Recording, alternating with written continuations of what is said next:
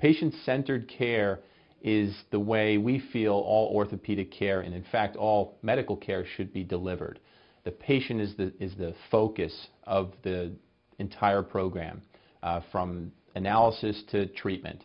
So the patient is the leader of the team and everyone else is there to guide the patient through uh, their own health care. The patient plays a big role in their overall uh, treatment here at Performance Spine and Sports Medicine.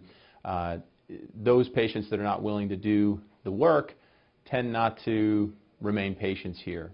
Uh, but patient-centered care specifically is putting the patient first.